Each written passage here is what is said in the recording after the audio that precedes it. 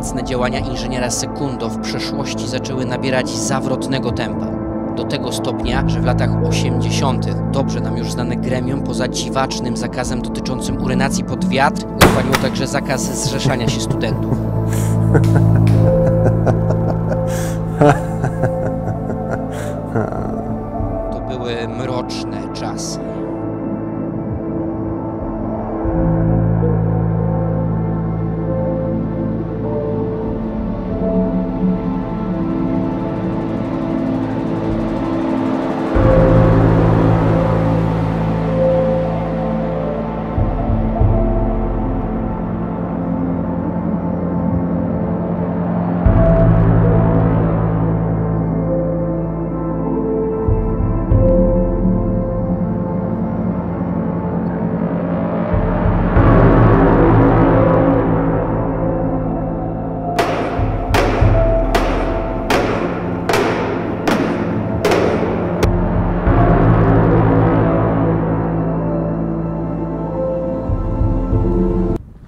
Wydział Nauk Społecznych? Wydział Nauk Społecznych. A to się świetnie składa. Znam kogoś, kto może nam pomóc. Ciekawe kto? Filozof? Politolog? Jakiś profesor zwyczajnie nadzwyczajny? Wiem, historyk. Lepiej. Facet z ksera. Z ksera? Ale No z ksera, z ksera. jak z ksera? Wszyscy tu kserują, więc on zna wszystkich. A, jak proboszcz.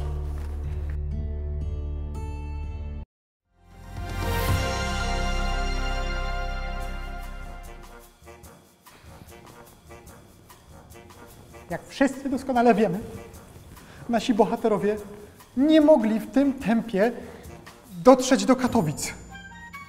I to tak jeszcze bez zmęczenia, bez środków lokomocji.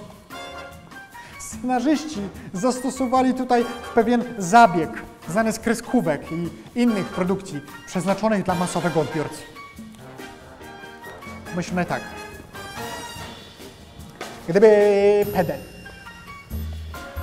i doktor Primo maszerowali sobie z miasta A, czyli Cieszyna, do miasta B, czyli Katowic, z prędkością, dajmy na to, nawet 12 km na godzinę.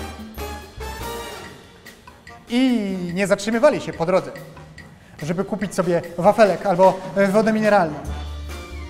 No to musieliby maszerować nieprzerwanie przez x godzin i y minut a podczas obliczania x i y trzeba jeszcze uwzględnić wpływ nie zawsze sprzyjających warunków atmosferycznych, a także bardzo negatywny wpływ na tempo marszu takich czynników jak dyskusje toczone w celu zabicia czasu.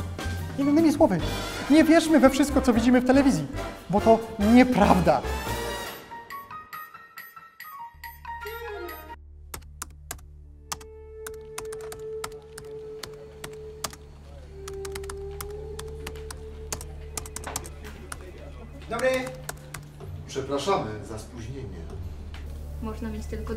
Nieobecności.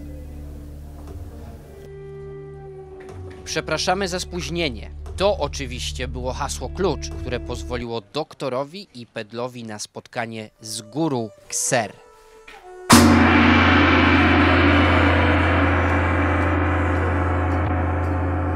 Witaj, guru Kser. Przybywamy do ciebie z darami. Przyjmij te oto dwie nagie folie. Dziękuję wam za te dary. Połóżcie je proszę obok pozostałych nagich folii. Co was do mnie sprowadza? To. Co to jest? Sterowałem to 12 marca 1985 roku. Ale cóż to jest? Skąd to pochodzi?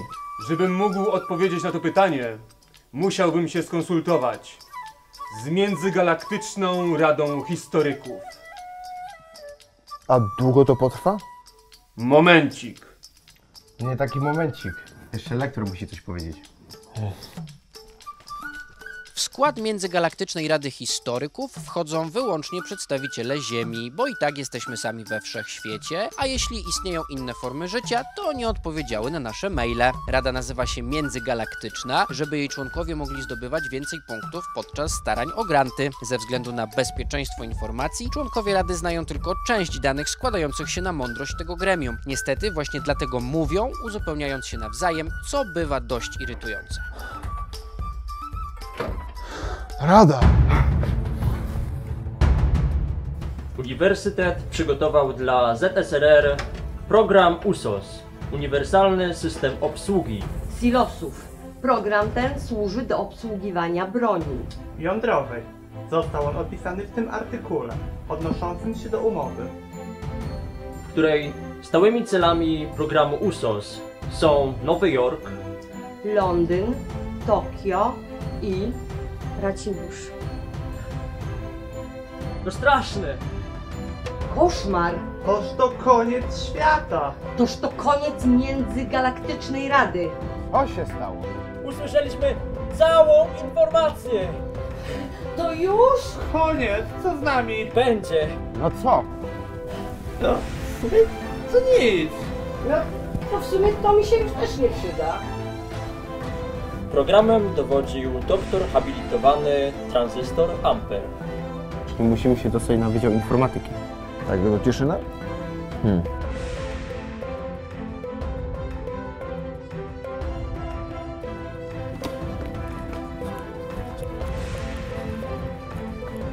Ty, czekaj. A właściwie to czemu my biegniemy? Wezmę taksusia, zamówię, a nie...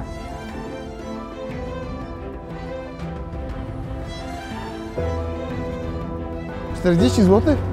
To ile ty mu dałeś tego napiwku? Ja nie wiem, ile to miałem, 30 zł. Chodźmy.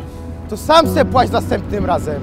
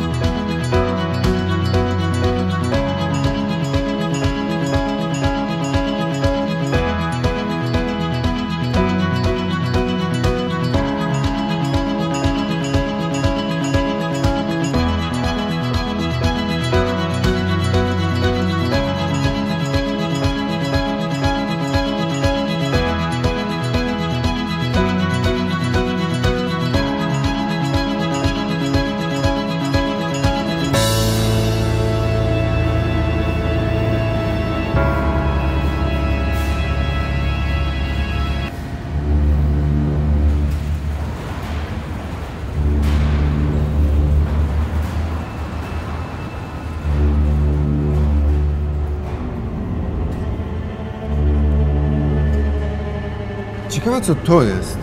To mi wygląda na rejestrator maszyny wyciągowej. Co na informatyce? Idę się klub w łeb. No tak to wygląda, no.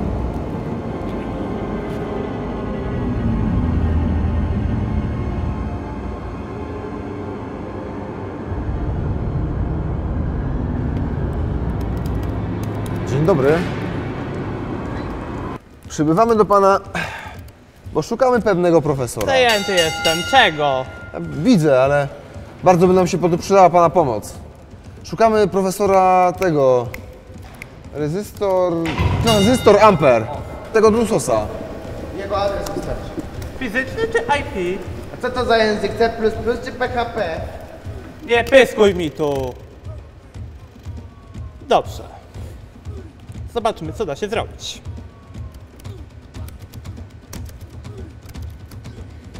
Szczerze mówiąc, coś wolno mi to dzisiaj działa. Chyba muszę dorzucić węgla.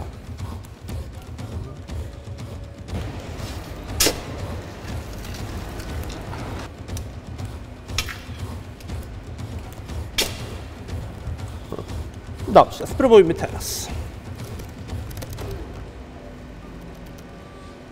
Hmm. Tak, mam tutaj jakieś konkretne informacje. Dobrze. Chodźcie za mną, panowie.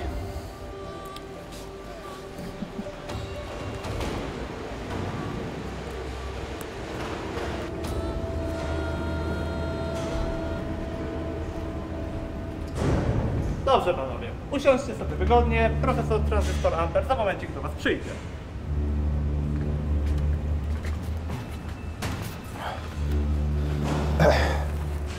Komputery na węgiel. Wyobrażasz to sobie? Pierwszy raz coś takiego widzę. Na sekundę to wcipcić naprawdę. Czujesz to? Fedel. To nie ja, to, to, to jakiś gaz, to Ctrl Alt Delete.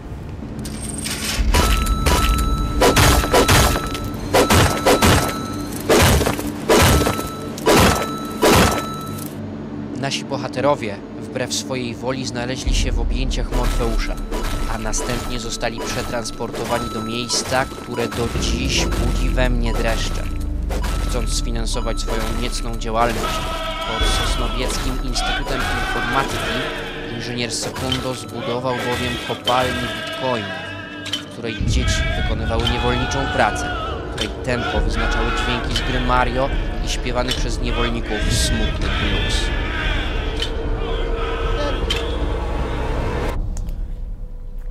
Gdzie mi z tymi długimi, debilu? Macie za dużo, za dużo zębów.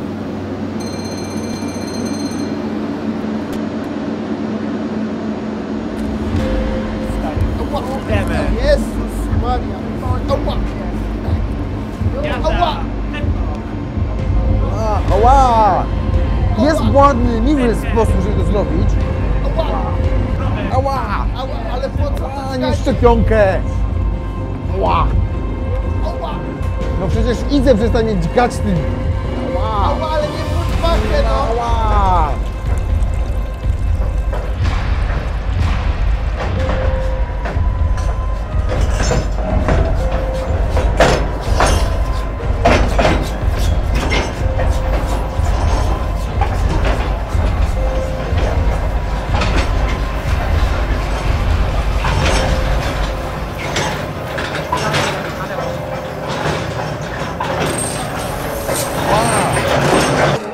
Przecież idę! Idź, stać! No. I tak oto nasi bohaterowie wpadli w pułapkę, która okazała się kopalnią bitcoinów. Stąd nie ma ucieczki, panowie. Witajcie w świecie kryptowalut. A właściwie jak my się tu znaleźliśmy? A, to bardzo proste i dla zabicia czasu mogę to wyjaśnić. Byłem strażnikiem Insignium. I strasznie mi się to nudziło. No bo ile można się cieszyć z oglądania precjozów jego magnificencji, co? W końcu miałem dość. I oddałem rektorski bilet inżynierowi Sekundo. On przynajmniej wiedział, jak zrobić z niego użytek. Taki niby duży. Pan profesor. Taki mądry. A inżynierowi dał się zbajerować.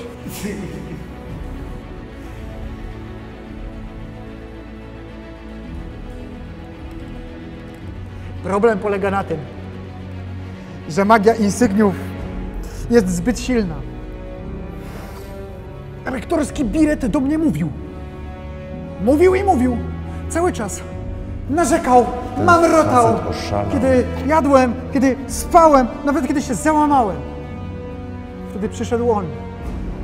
I groził, że mnie zniszczy. Groził, że zniszczy moje komputery.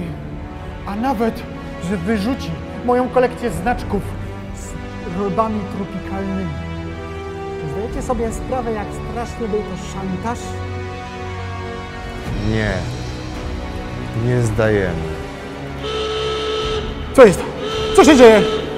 Stąd! Rewolucja! Co to ma znaczyć? Bracie, wszyscy, zajmiemy!